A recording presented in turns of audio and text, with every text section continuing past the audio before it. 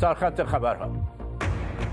معمای قتل خاشقجی اصرار ترکیه انکار ترامپ. محمد بن سلمان در اولین سفر خارجی بعد از قتل روزنامه نگار منتقد به امارات رفت. حمله گروه جدایی طلب بلوچ به کنسولگری چین در کراچی. مهاجمان مخالف سرمایه گذاری پکن در بلوچستان پاکستان بودند. اعلام نتایج انتخابات پارلمانی افغانستان دوباره عقب افتاد. می‌خواهند به شکایت ها رسیدگی کنند. یک گزارش تحقیقی به سفارش دولت فرانسه موزه ها آثار فرهنگی آفریقایی را پس بدهند.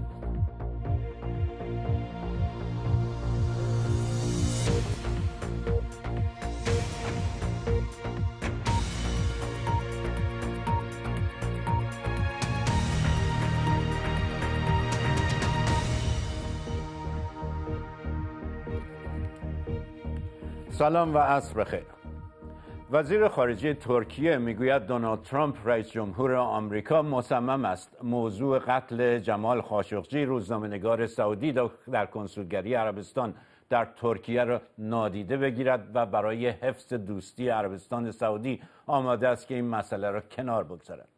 قتل جمال خاشقجی عربستان را در بحرانی بزرگ فرو برده و چند کشور را به شکلی جدی درگیر کرده. همزمان محمد بن سلمان ولیعت عربستان پنجاه روز بعد از این قتل به اولین سفر خارجیش رفت. مرزاد روز گزارش می‌دهد. ولیعت عربستان. در واقع همه کاره این قدرت سنی منطقه. به امارات متحده عربی رفت. متحد استراتژیک عربستان شریک عمده در جنگ یمن. محمد بن سلمان به خواست پدرش. به اینجا آمد به دیدار به قول خود کشور برادر. این اولین سفر خارجی محمد بن سلمان پس از قتل جمال خاشقچی. روزنامه نگار منتقد سعودی است. پنجاه روز از این قتل میگذرد. پنجاه روز است که نام خاشقچی با نام پرقدرت ترین شخصیت حال حاضر عربستان گره خورده. قتلی که عربستان را در بحران فرو برد. عربستان پذیرفته آقای خاشقچی به قتل رسیده اما می‌گوید به دست عوامل خود سر بوده. سیا سازمان اطلاعات مرکزی آمریکا محمد بن سلمان را مقصر می‌داند. اما دونالد ترامپ رئیس جمهوری آمریکا دست از حمایت رهبران سعودی بر نمیدارد.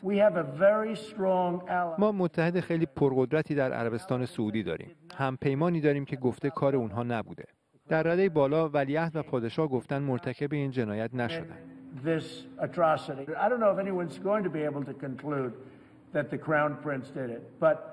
نمی‌دونم کسی بتونه بگه ولیعهد این کارو کرده. نظر من اینه. نمی‌دونم. اما اینکه اون این کارو کرده یا نه قویا تکذیب می‌کنه. پدرش پادشاه اون هم قویا تکذیب می‌کنه. سیاه نمیگه اونا پشت این قضیه بودن. روی یه سری مسائل انگوش می‌ذارن. با توجه به مسائلی که میگن شاید بشه نتیجه گرفت که اون این کارو کرده یا اینکه این هم بخشی از گزارش دهی غلط بوده.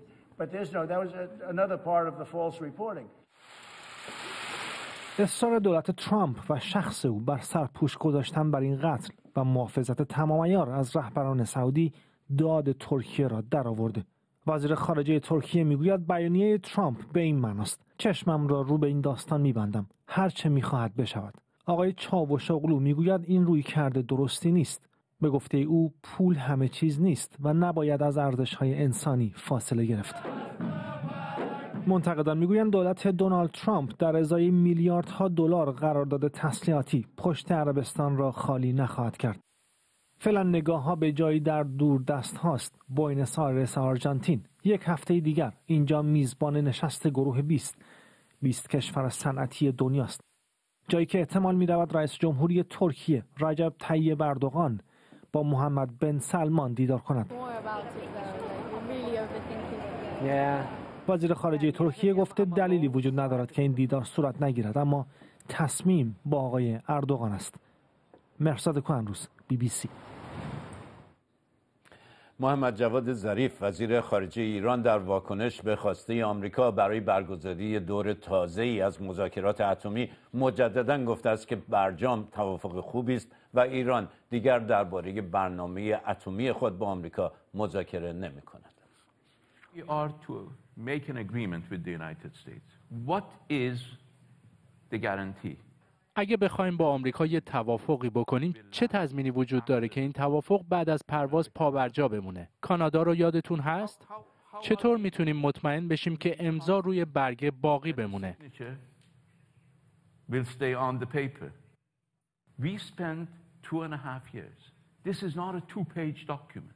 دو سال و نیم زمان صرف کردیم این یه سند دو صفحه‌ای نیست. این برای عکس گرفتن نبوده. این یه سند 150 صفحه‌ایه. چندین نفر روی کلمه به کلمه اون کار کردن. دانشمندای هسته‌ای وکلا متخصصان مالی و تحریم ها و غیره?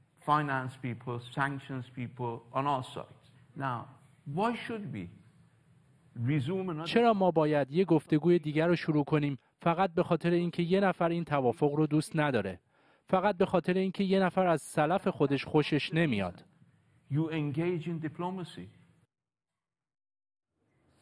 وزیر امور خارجه ایران برای شرکت در کنفرانس بین المللی گفتگوهای مدیترانه‌ای و گفتگو با مقامهای ایتالیایی به روم سفر کرده. آقای ظریف همچنین خطاب به کشورهای اروپایی گفت ایران در مذاکرات پیشین به نتیجه خوبی رسید و الان اروپا و بقیه باید برای زحمات خود و امنیت جهانی سرمایه گذاری و هزینه کنند. او خطاب به اروپا گفت نمی شود بدون اینکه خیز شد شنا کرد. آقای ظریف امروز در روم قرار است با سرگئی لاوروف همتای روس خودش هم ملاقات کند. وزارت خارجه ایران اتهامهای آمریکا را رد کرده که می‌گوید این کشور تلاش دارد به سلاحهای پیشرفته شیمیایی دست پیدا کند. بهرام قاسمی سخنگوی این وزارتخانه گفته ایالات متحده خودش تنها عضو تنها عضو سازمان منع گسترش تسلیحات شیمیایی است که تاکنون به تعهدش برای حفظ این سلاحها عمل نکرده. دیروز نماینده آمریکا در نشست سازمان منع سلاحهای شیمیایی برای بازنگری این کنوانسیون ایران را به پنهانکاری درباره تسلیحات شیمیاییش و نقض قوانین این سازمان متهم کرد. کنوانسیون منع سلاحهای شیمیایی که 193 کشور از جمله ایران به آن پیوستند انبار و هر گونه استفاده از این تسلیحات را ممنوع کرده است. انفجار بمب در مسجد مخصوص سربازان ارتش در ولایت خست افغانستان دوازده سرباز را کشت و 33 نفر را زخمی کرد. سخنگوی والی خست گفته مسجد داخل پایگاه بوده و سربازان در حال خواندن نماز جمعه بودند. ولایت خست همجوار پاکستان است. داعش چند بمب در اینجا منفجر کرده و طالبان هم در این ولایت فعال است. مقام های پاکستان می‌گویند در انفجار بمب در بازار شهر اورکزای در ایالت پختونخوا دست کم 20 نفر کشته و ده ها نفر زخمی شدند. ساکنان این منطقه از اقلیت شیعه پاکستان هستند که اغلب هدف حمله گروه های تندروی سنی قرار می گیرند. در پاکستان پلیس کراچی خبر داد که کنسولگری چین هدف حمله سه مهاجم مسلح قرار گرفته است. در درگیری بین آنان و پلیس دو پلیس کشته و چند مامور دیگر زخمی شدند. بعضی از منابع خبری تعداد مهاجم را تا چهار نفر گزارش کردند. شهریار سیامی گزارش می‌دهد. این تصاویر را یکی از اهالی کراچی با تلفن همراه گرفته. حدود ساعت نه به وقت پاکستان تیراندازی و صدای انفجار از طرف کنسولگری چین شنیده شد. اگرچه تصاویر درگیری و تیراندازی در کراچی نادر نیست اما درگیری در محله های ثروتمند کم سابقه است. پلیس می‌گوید مهاجمین می‌خواستن از ورودی متقاضیان صدور ویزا وارد کنسولگری چین شوند که با محافظان درگیر می‌شوند.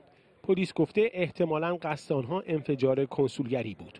کمربند انتحاری و نارنجک داشتند اما بعد از اینکه سه مهاجم و دو پلیس محافظ کنسولگری کشته شدند این حمله با شکست روبرو می شود که کانسلت می 21 که قریب چینی 21 کارمند چینی در این کنسولگری بودند الحمدلله همه سالمند هیچ کدوم گروگان گرفته نشدن کسی هم کشته و مجروح نشده. این باعث خوشحالی همه شد و کارمندا هم به محل امنی منتقل شدن.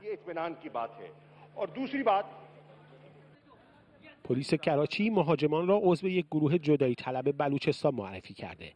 چین هم این حمله را به شدت محکوم کرده و گفته باید دولت پاکستان حفظ امنیت شهروندان چین را تضمین کند.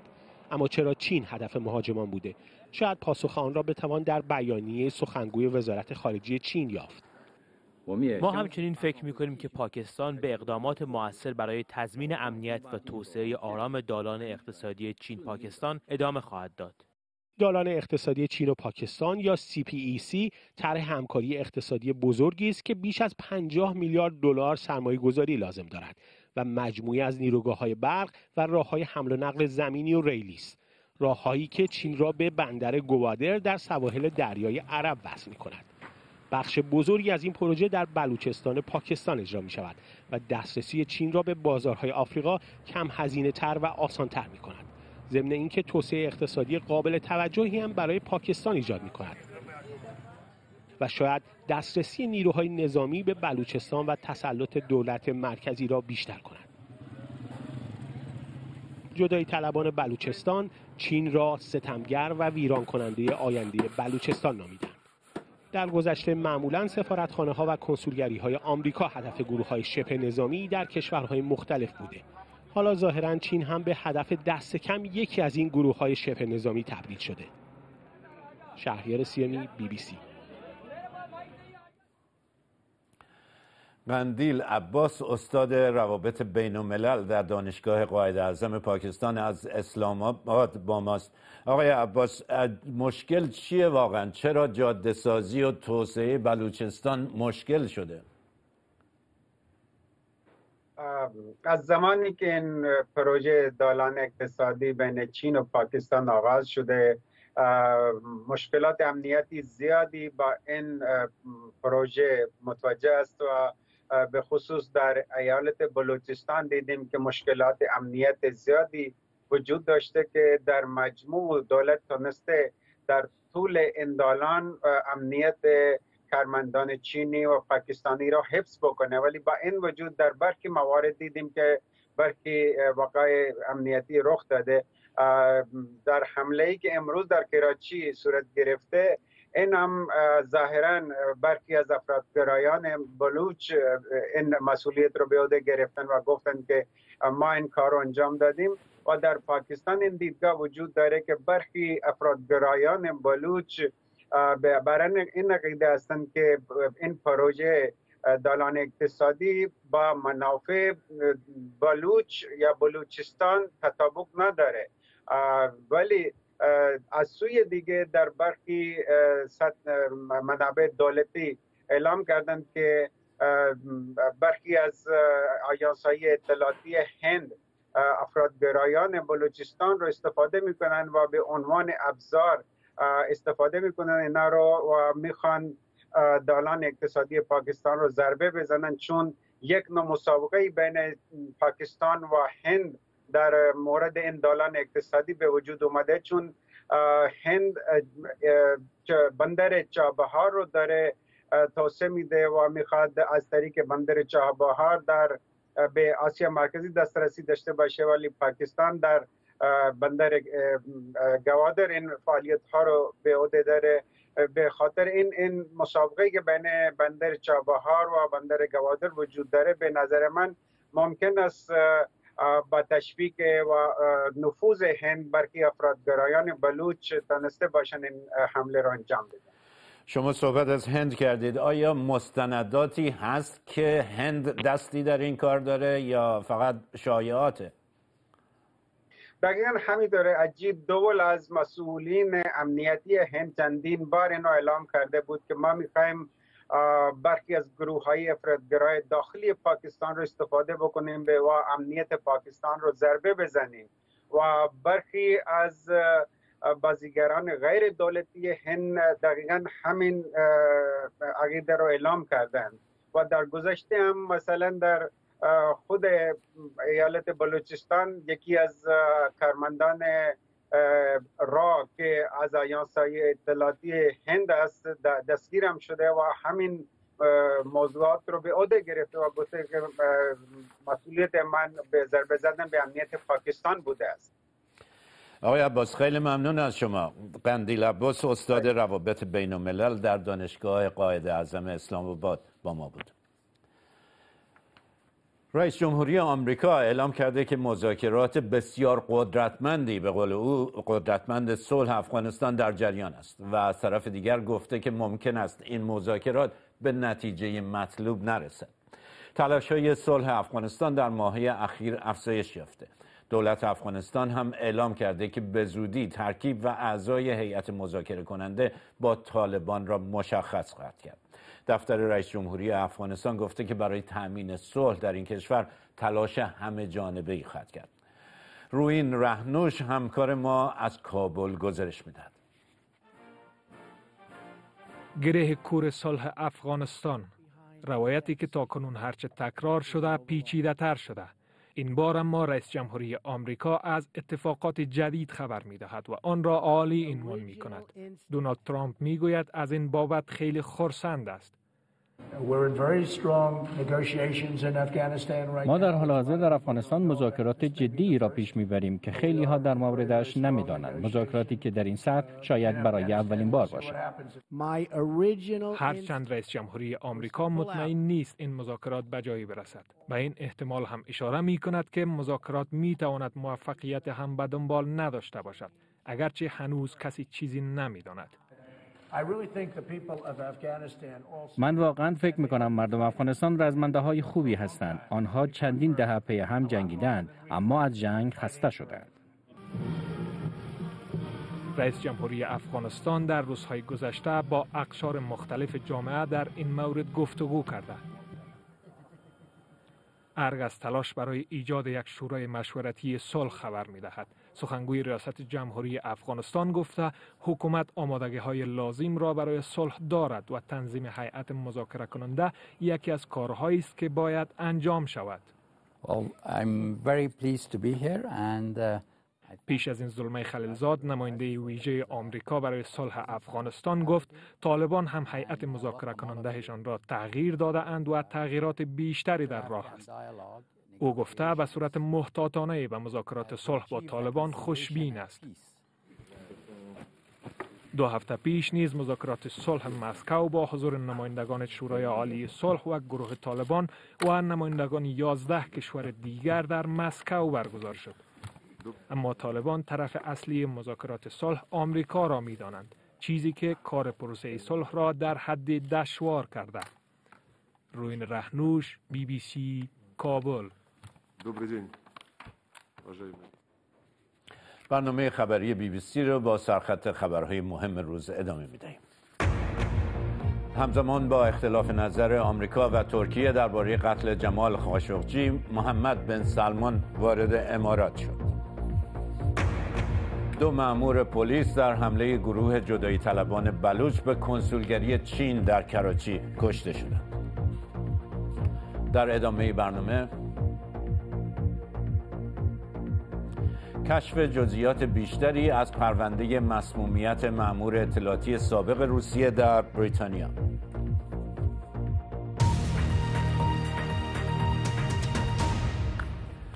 اعلام نتایج انتخابات پارلمانی افغانستان دوباره عقب افتاد.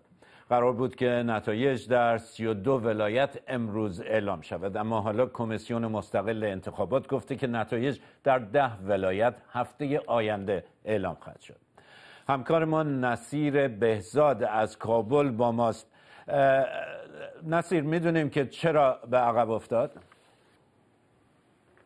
خب دلایل زیادی می‌تونه داشته باشد. در روز انتخابات کمیسیون انتخابات از روش های مختلف استفاده کرد برای رایگیری مردم. در محلات که دستگاه های بایومتریک کار نداد از فهرست رای دهندگان استفاده کرد. در جاهایی که فهرست رای دهنده ها نبود اینها جدول کاغذی در امو محل ترتیب دادن استفاده کردند و همینطور در جاهایی که کاغذ نبود حتی اجازه دادن به یکی پشت اوراق رایدهی اطلاعات رایدهنده در شود. اینها دلایل شد که خیلی پیچیده کرد روند رسیدگی به شکایات را که حدود دوازده هزار شکایت ثبت شد. به دلیل از که شکایت ها در مورد تقلب و تخطی و جرایم انتخاباتی بود. هنوز کمیسیون انتخابات افغانستان سرگرم رسیدگی به شکایاتی است که مردم از روز انتخابات درج کردند. در مورد ادعاهایی که مطرح شده در تقلب و تخطی و جرایم.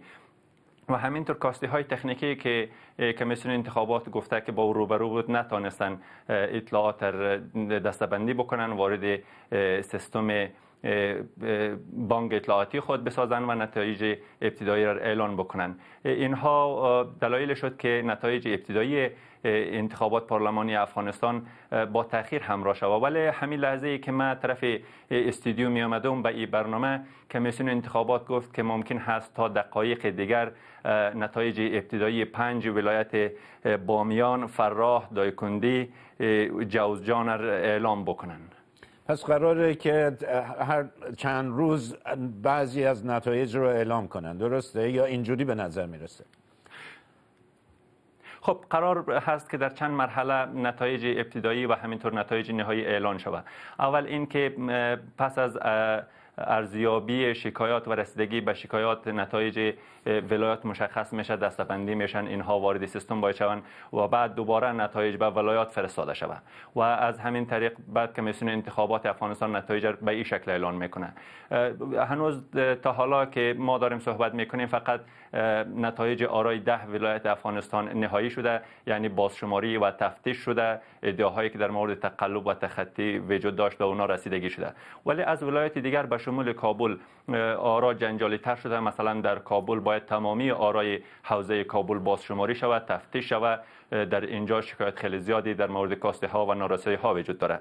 و همینطور بعد از رسیدگی به حدود دوازده هزار شکایت و استناف خواهی که حالا جریان داره. ممکن هست برخی از شاکه ها با فیصله کمیسیون های ولایتی قناعت نکنن. اینها آمدن ده ها شکایت در کمیسیون شکایت انتخاباتی ثبت کردن که اینها هم تاثیر گذاشت روی تاخیر و در صورتی که همه شکایت ها بررسی شود آرای تقلبی از واقعی در تفتیش شناسایی شود بعدا ممکن هست نتایج ابتدایی اعلان شود و در مرحله نهایی که هنوز زمانش مشخص نیست کمیسیون انتخابات در مورد اعلان نتیجه نهایی انتخابات پارلمانی افغانستان تصمیم خواهد بگیره نصیر خیلی ممنون. نصیر بهزاد همکارمون از کابل با ما بود.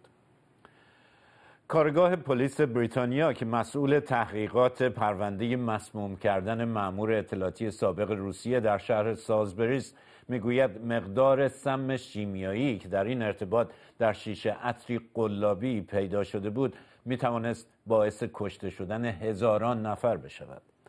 در مستند برنامه پانورامای بی بی سی با افسر پلیسی هم صحبت شده که خودش مسموم شده بود. به خلاصه ای از این مستند که جین کوربین, جین کوربین آن را تهیه کرده توجه کنید. سالزبری ویلتشر شهری که هشت ماه پیش کانون یک حمله مرگبار بود. دو جاسوس روسیه را فرستادند تا یک جاسوس سابق را بکشند. سرگئی سکریپال با ماده سمی نویچوک او و دخترش یولیا در مرکز شهر ناگهان به شدت مریض شدند. اما یک مأمور پلیس که در تحقیقات دست داشت هم مریض شد.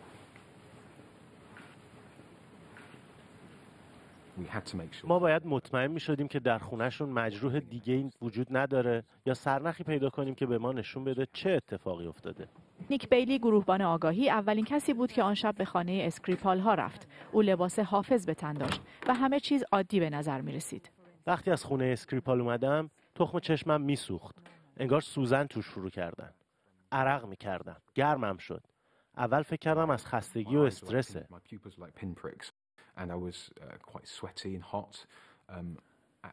نیک بیلی هم با نویچوک تماس پیدا کرده بود.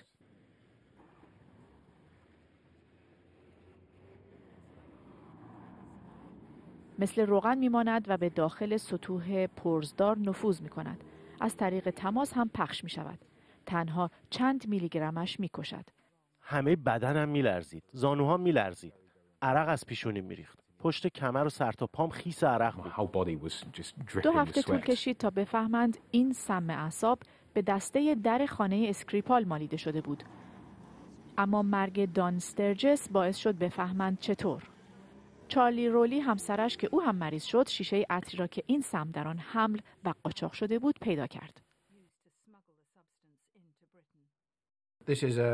این دقیقا کپی شیشه عطریه که نویچوک با اون حمل شد. مقدار زیادی نویچوک توش بود. چند نفر ممکن بود کشته بشن؟ گفتنش سخته. احتمالا هزاران نفر. نیک اسکریپال ها و چارلی رولی همه زنده ماندن. تصاویر دوربین مداربسته که قبلا دیده نشده دو مأمور ارتش روسیه آناتولی چپیگا و الکساندر میشکین را درست بعد از حمله در سالزبری نشان می‌دهد. در راه ایستگاه قطار برای بازگشت به روسیه لبخند می‌زنند و عکس می‌گیرند. حضور آنها در دادگاه های بریتانیا تقریبا از محالات است. تمام مدت می‌گفتم فقط می‌خوام همراه با زنم از بیمارستان مرخص شم. و همین که قادر به انجام این کار بودم که بتونم روی پای خودم از بیمارستان خارج شم بعد از سه هفته زش کشیدن این واقعا بی‌نظیر بود.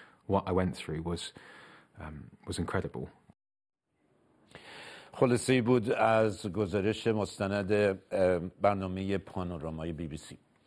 سازمان ملل متحد برای نظارت بر مدیریت بندر هدیده که در کنترل شورشیان حوسی در یمن است اعلام آمادگی کرده. نیروهای دولتی در تلاشن این بندر را از کنترل حوسی ها خارج کنند. درگیری در این بندر کلیدی واردات کالا را مختل کرده و یمن را در آستانه قحطی قرار داده. مارتین گریفیس فرستاده ویژه سازمان ملل برای صلح در یمن وارد بندر هدیده شده تا مذاکرات صلح را پیش ببرد. دادگاهی در آلمان حکم داده که شرکت فوکس واگن پول کامل یک ماشین را به صاحب آن پس بدهد. بر اساس گزارش رسانه ها دادگاه گفته که این شرکت با نصب نرم افزاری که مقدار آلاینده ها را اشتباهی نشان می‌داده رفتاری غیر اخلاقی داشته. شرکت فوکس واگن گفته درخواست تجدید نظر می کند این شرکت توافق کرده که در آمریکا برای جبران خسارت میلیاردها دلار بپردازد اما در اروپا چنین توافقی به دست نیامده در گزارشی که به خواست امانوئل مکرون رئیس جمهوری فرانسه تهیه شده توصیه شده که آثار هنری آفریقایی که در موزه های فرانسه نگهداری می شوند پس فرستاده بشند بنابر این گزارش 90 درصد از میراث فرهنگی آفریقا در خارج از این قاره نگهداری می شود و قوانین در فرانسه باید طوری تغییر کند تا بازگشتشان ممکن شود. به گزارشی از هیو اسکوفیلد توجه کنید. تقریبا 90 درصد از میراث هنری آفریقا نه در آفریقا بلکه در فرانسه حفظ و نگهداری می شود. موزه تمدن‌های غیر اروپایی برانلی در پاریس. بحث و جدل درباره درست و غلط بودن آن سالهاست ادامه دارد اما گزارش اخیر که فرانسه منتشر کرده جدی است. بیشتر چیزهایی که اینجاست باید برگردد. برآورد شده که دو سوم اشیاء متعلق به مجموعه آفریقا در این گزارش ذکر شدند. اینها قطعاتی هستند که در دوران استعمار فرانسه به غارت رفتند. یا نکته خیلی مهمی که گزارش بهش اشاره می‌کنه از طریق تجارت غیرعادلانه به خاطر تسلط خریدار که همون قدرت استعماری فرانسه باشه به دست اومدن این خود مکرون رئیس جمهوری بود که یک سال پیش به آفریقا رفت تا راه را باز کند. در بورکینافاسو گفت این اشتباه است که فقط اروپایی ها و آمریکایی ها به هنر آفریقا دسترسی داشته باشند و اعلام کرد که فرانسه قصد دارد میراث فرهنگی آفریقا را به طور موقت یا برای همیشه بازگرداند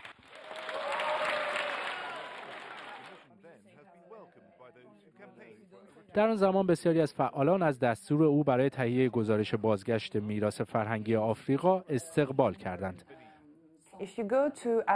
اگر از موزه ابومه بازدید کنین که موزه مهمیه نمی‌تونین در قصر رو پیدا کنین. تو پاریسه. تخت و تاج شاهان ما رو نمی‌تونین پیدا کنین چون تو پاریسه. هیچی پیدا نمی‌کنین. ما اینا رو پس می‌خوایم. گزارش بر اساس این فرض استدلال می کند هر اثری متعلق به دوران استعماری از جمله این قطعات که امروز به حراج گذاشتند قطعا بدون اجازه به دست آمده. از جمله این قطعات که امروز به حراج گذاشتند قطعا بدون اجازه به دست آمده. اما منتقدان می‌گویند این استدلال بسیار کلی است. وقتی بر این اساس استدلال کنیم که کل دوران استعماری یک جنایت بوده ناگهان همه آثار هنری چه اهدا شدن چه جمعآوری شدن یا خریداری همه مشمول پرونده تقلب میشن. این اصل این اصل استدلال اونهاست که افراط‌آمیز و تهاجم که افراط‌آمیز و تهاجمی به موزه است. لندن و برلین از اشیاء آفریقایی خالی شود. آیا ممکن است موزه برانلی یا مشابه آن در لندن و برلین از اشیاء آفریقایی خالی شود؟ کار امشب و فردا نیست اما دیگر غیر ممکن هم نیست به پایان این بخش خبری می‌رسیم ممنون که با بی بی سی فارسی هستید